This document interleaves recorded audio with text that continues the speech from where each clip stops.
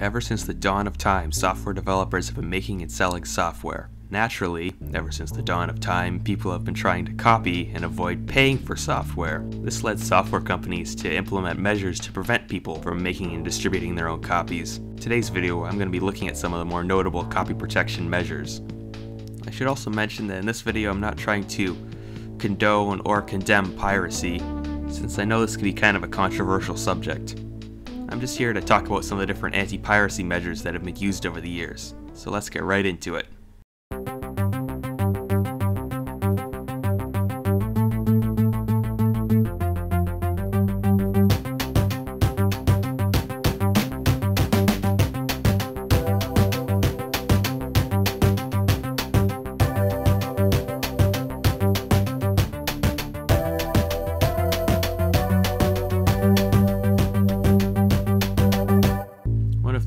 Earliest forms of copy protection is known as on-disk copy protection.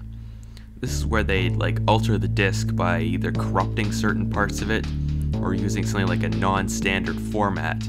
This meant the disk could be read, but it would mess any kind of copy software, because it wouldn't be able to copy the unique like corruption or disk format. This form of copy protection was really annoying because you couldn't make backups of your disks, as well as couldn't install it to your hard drive if you had one. This was popular in the early days of the Apple II and IBM PC before too many people just complained about it and they stopped doing it and it became a selling feature if your software was not copy protected. This form of copy protection did stick around however on systems like the Commodore 64 since not very many Commodore users had hard drives and Commodore's drives were super easy to reprogram to read a non-standard format due to the way they worked. Another problem with this, especially with Commodore systems, was that the way this would mess with the uh, formatting of the disk, it could actually damage your drive if the heads, because these copy protection schemes would often cause the heads to bang around a lot, which would send them out of alignment, which is super annoying. It was almost like there was incentive just to get the cracked version because it would load faster and wouldn't mess up your drive. Next form of copy protection we're going to talk about is off-disk copy protection. This mostly affected games from the late 80s and early 90s, and the most common form of off-disk copy protection used the manual, where you had to find like a specific word in the manual and enter it in. Another form of off-disk copy protection, like SimCity here, has a single sheet with a bunch of like symbols. When you start up the game, on screen it'll show the symbols and they have to find the number that corresponds with that symbol and the sheet is like a dark red with black ink so you can sort of see it in the right light but if you tried to photocopy it, it you would just get a bunch of black. This was made quickly obsolete by better photocopiers. I should mention though that there is one benefit to having to look stuff up in the manual to answer the copy protection questions. That is you can actually kind of learn something about the game from doing the copy protection. In the early 90s, CD-ROMs were starting to gain popularity and in the early days of CD-ROMs, developers really didn't bother with copy protection because, well, CDs themselves were their own form of copy protection. Because CD, read-only memory, keywords, read-only. CDs can hold way more than the average hard disk back then, and CD burners are prohibitively expensive. So developers didn't really bother with any sort of copy protection for early CD-ROM releases. As we get later into the 90s, CD burners are becoming more and more accessible and commonplace hard drives were getting quite a bit larger. It soon became apparent that copy protection was needed on CD-ROMs.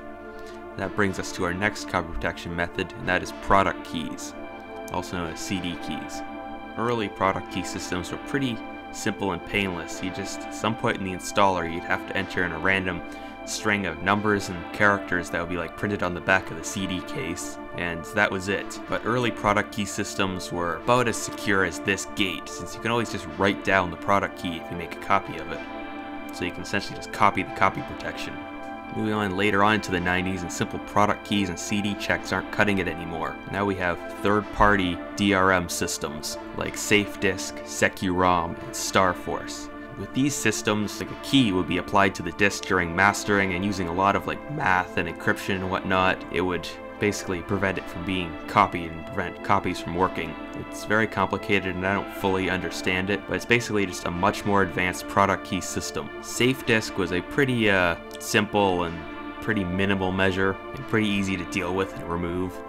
Moving on to uh, Securom and Star Force, which were quite a bit more extreme. Star Force would actually like basically install itself as like a rootkit and mess with your optical drive. Securom was also kind of annoying. Securom had some major uh, security vulnerabilities. Microsoft released an update a few years ago that basically made any Securom programs not work anymore due to these security vulnerabilities. Personally for me, Securom has caused its share of headaches, since one of my favorite games in the whole wide world, SimCity 3000, unfortunately is laced with Securom. But thankfully we have things like GOG.com, which stands for Good Old Games, and it's got lots of uh, old games with the copy protection removed that you can buy for not a lot of money, so super cool that they're doing that. So overall, Securom and Star Force were pretty annoying and hard to deal with. But now we're heading into the territory of even more hated DRM practices, those being like accounts with the publisher, limited installs, and always online DRM. So basically all programs and games these days want you to have an account with the publisher. This is mainly for DRM reasons. In some cases it's not so bad. Let's take Minecraft for example. If you want to play Minecraft, you can actually just download it from their website. They'll let you do that without paying, but you do have to pay for an account and you need to sign into an account to play. But you can install it as many times as you want and you can sign in on as many devices as you want. So you're not so much purchasing the game as much as you are purchasing an account to play the game. But accounts with the publisher can be used for much more annoying things like limiting the number of times you can install it and the number of devices you can install it on, as well as something called Always Online DRM, which is just super annoying. Always Online DRM has to be the most hated form of DRM ever. It mainly affects video games, and basically, if you want to play that game, you better have a good internet connection, because every little thing is synced to the cloud. Game companies will try to, like, mask the fact that it's for DRM by saying it's for, like, improved multiplayer or you can sync your progress across multiple devices, but the reality is, it's for copy protection reasons super annoying because you can end up with lag in like single player and your saves aren't even saved locally and if the servers are down you can't play the game at all. My biggest complaint with accounts with the publisher based systems are just that if you want to revisit a game or a piece of software in the future and the company doesn't support it anymore and the servers are down, you can't use it at all. So that's kind of unfortunate. So anyway, that's just about wraps up uh, this look at different forms like copy protection and DRM. I found it a bit interesting, and I know there's a lot of things I glossed over. It's just sort of a general talking about the history. And uh, yeah, and I might go and make some more videos in the future, taking a more specific look at some of these, at some of the things I talked about today. But let me know if you want to see that. I also recommend you to check out my other channel called BTM286. I've had it for a while. They upload other just random little things on there that are just like just random little videos. You can go check it out if you want. And uh, yeah, thanks for watching. Have a great day.